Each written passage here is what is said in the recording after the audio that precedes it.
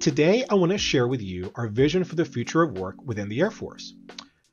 As part of that, I'm going to show you a digital workspace experience that helps organize, guide, and automate work. Today, if you're an airman, chances are that you log on to a variety of different systems at a variety of different locations, and then the applications that, and resources that you access may vary depending on the location. And this workspace brings all of those different elements together to create a consistent user experience that's easy to use but also secure at the same time.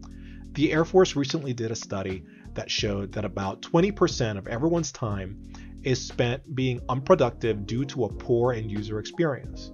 On the surface, it doesn't really seem like a huge problem, but if you really think about it, it actually is. So for every 10,000 users, that means that you're losing nine years of productivity every single week. If you think about that broader, that means that you're losing over 400 years of productivity every single year, and that's just 10,000 users. So let's walk through how we kind of cut into that productivity gap using our workspace. So on the left, left hand side here, you see a couple of different categories of different resources that I can access using my workspace. The first is applications, so let's dig into that. I have different types of applications that I can access. I have uh, Windows applications like Office 365. I have web-based applications like Jira. I have SaaS applications like Google Workspace. And I also have access to Linux applications as well that I can actually uh, uh, access from within this workspace. So as an end user, it doesn't matter where I'm logging in from. It doesn't matter what location or device. I have this consistent user experience no matter what. I, I come to the one place to access everything.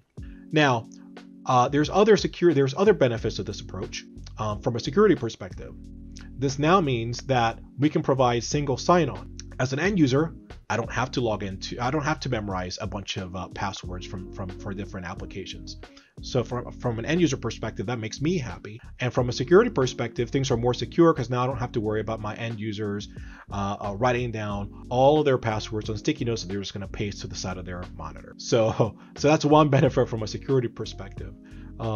We also have additional benefits from a security perspective. Now we can wrap we can wrap additional security controls around these applications. So for example, I can block copy and paste, right? So now I can prevent data from being exfiltrated out of our uh, out of our system. I can uh, deter people from taking screenshots. I can actually watermark all of my applications with the IP address and username of the users to help to deter that type of behavior. I can block it altogether. I can prevent screenshots from being taken. I can also protect against malware that will uh, that try to do key logging right so um, i can i can i can do all those different things i can enact all those different security controls because i have implemented a digital workspace that's not only easy to use for my users but also super super secure so that, those are some of the capabilities that we have with apps. Let's look at desktops and walk through a couple of use cases there. So one of the common use cases that we see for this is access to desktops uh, on SIPR and access to desktops on NIPR. And traditionally, users have different computer systems that, that they use to do that. Oftentimes at their desk, um, in the office, well, using this digital workspace, I can access those resources from the same location. I'm still keeping these net these networks separate, right? Um, um, secure, uh, and um, and uh, uh, at the same time making it easy for my users to access those resources on both of those networks. This also extends to different data centers and different clouds.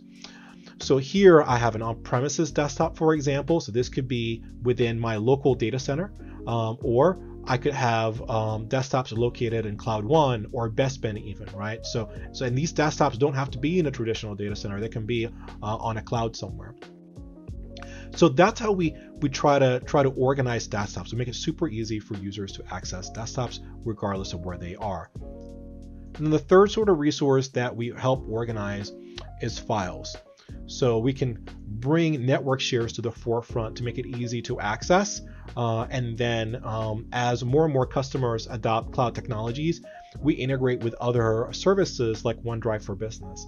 And again, we're wrapping some additional security controls here as well, um, in addition to implementing single sign-on. Um, so, uh, so we keep things uh, as secure as possible while keeping it easy, easy for the user to use. So that's how we organize work. The second thing that we do is we help guide work. In the middle here, you're going to see a feed familiar to what you would see in Facebook or Twitter. But this isn't my social media feed, this is my work feed. So what this feed is doing is actually talking to many of the applications that I talk to that I use on a regular basis, you know, like ServiceNow, ADP, Google Workspace, Jira, and it bubbles up information and alerts that are important to me. So I don't have to log into these applications individually. I don't have to dig through email to um, to to follow up on things that are important. I just have access to all of those things right here within my Citrix workspace.